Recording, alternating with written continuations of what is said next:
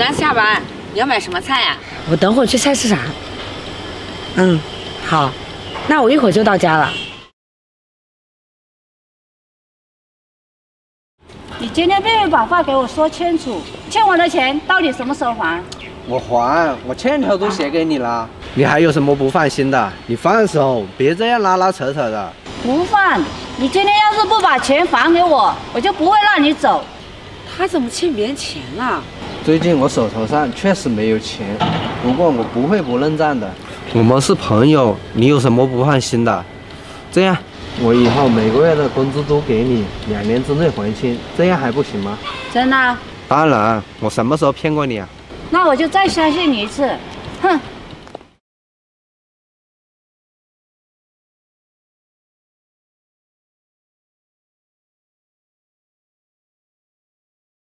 大姐，你等一下。你谁啊？找我干嘛？啊，刚才欠你钱那个人是我的朋友，我听到了你们的对话。他为什么会欠你钱啊？欠了多少？他妈生病了，问我借了十万块钱，说是一年之内还的，可是到现在还没有还。你是他朋友？嗯。如果你是他朋友的话，怎么连他妈生病你都不知道？哈，我们这不是不常联系吗？哦，那你干嘛不直接去问他，反过来追问我？你跟他到底什么关系？你要是不说实话的话，那我自己打电话问了。哎，大姐，你别打。这样吧，他欠你多少钱，我来还，怎么样？真的？真的。哎，他以前啊帮过我，我只是想报恩而已，你别多想啊。密码在卡的背后。这是我所有的积蓄，正好十万，你可以去查账。如果还有什么问题的话，就联系我。还有，把借条给我吧。没骗我，没有。还有这好事，这小子运气真好，还有人替他还钱。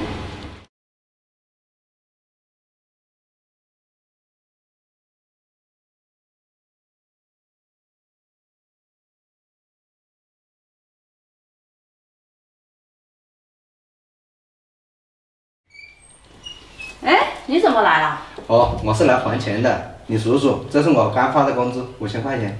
不用了，你的钱已经有人替你还了，就在一个月之前，你不知道吗？什么？谁帮我还钱了？我不知道这个事啊。那个人叫什么名字啊？叫小雅，说是你的朋友，说什么你之前帮过他，所以他替你还钱了。就是我去我去找你的那天，那天我们还吵架来着。你走之后，他追上我，就问明了原因，就直接替你把钱还了，你不知道吗？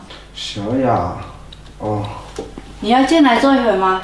不用了，我还有点事，我就先走了。哦，那个，你有小雅的联系方式吗？哦，你等等，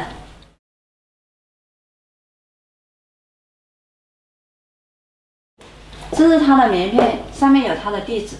哦，谢谢谢谢，那我就先走了。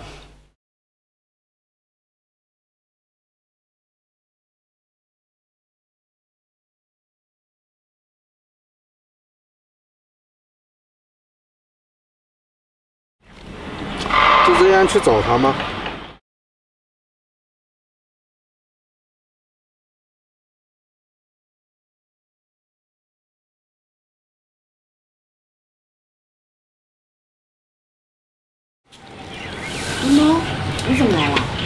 可以进去说话吗？进来吧。来，坐吧。小雅，我今天来呢，是带了我所有家当来求你复婚的，你同意吗？你，你说什么？三年前你帮我还债，我本来三年前就知道这个消息了，就想来找你了，可是我忍住了，我想给你更好的。所以这几年我一直在拼命努力，我创业成功了。现在我有房，我有车，我还有一家公司。不过我公司里缺一个老板娘，你愿意来当这个老板娘吗？你不是有女朋友吗？这么多年你一直还没有结婚。我帮你还债，只不过是不想看到你过得那么辛苦而已。我们已经离婚了，虽然。你之前对我还不错，要不是为你妈，我早就分手了。我们当初离婚也是因为我妈。你这次帮我还钱，被我妈知道了。我妈知道这个消息后，也特别感动。她说：“只要你肯回来，她就再也不会耽误我们的感情了。”小亚，你愿意跟我复婚吗？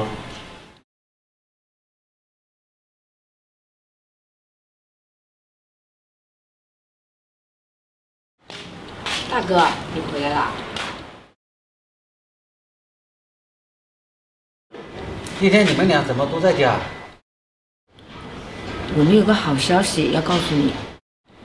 什么好事这么严肃啊？我和二哥，我们俩都考上大学了。考上大学了，这是好事啊。可是你们俩怎么看起来闷闷不乐的？哥，我们家的情况我们是知道的。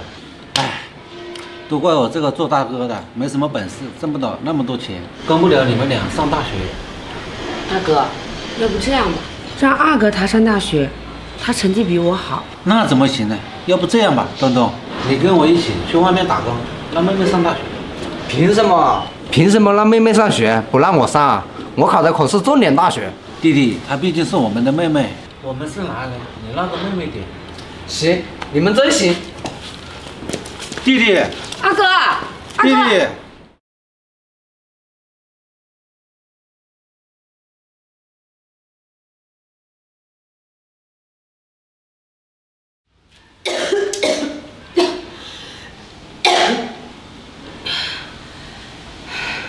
哥，医生说我这个病根本就治不好了，能治好，我们钱也没有了，我不治了。妹妹，就算我去外面借钱，也要把你的病治好。你在家好好休息一下。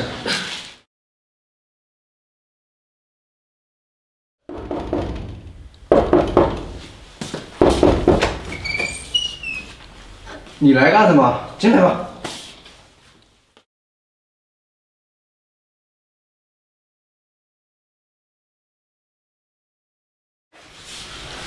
弟弟，当年四哥对不起你，我知道你心里很难受。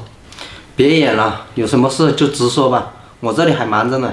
妹妹生病了，你能不能借点钱给我？我给妹妹看病。她生病了，那关我什么事啊？你不是有钱送她去上大学吗？怎么，现在连她生病的钱你都拿不出来了？我要是有钱的话，也不会来找你了。哥知道你很辛苦，可是哥真的没有办法了，你就帮帮哥吧，啊！现在你终于知道辛苦了。当初我考上大学的时候，只让妹妹上，还让我跟你一起打工。你现在沦落到这种地步，还不是你自己一手造成的？弟弟，你别激动，我能不激动吗？当初你为了让她上大学，你就毁了我的梦想。现在她生病了，你又来找我，真是够可笑的。请你以后不要再来找我了，你走，你走啊！弟弟，哥实话告诉你吧，妹妹啊，她不是我们爸妈亲生的。当年他爸妈和我们爸妈在一个工厂工作，那天发生了火灾。本来他爸妈是可以出来的，但是他们为了救我们爸妈，他父母不幸身亡了。我们爸妈走的时候嘱咐我一定要照顾好妹妹，以后有什么好事要先考虑她，所以我才选择让妹妹上大学。你为什么不早点告诉我，还让我一直埋怨你和妹妹？我真不是人，我不是人，我不是人。弟弟别打了，哥，你说治病要多少钱？差不多两万。行，你跟我去拿。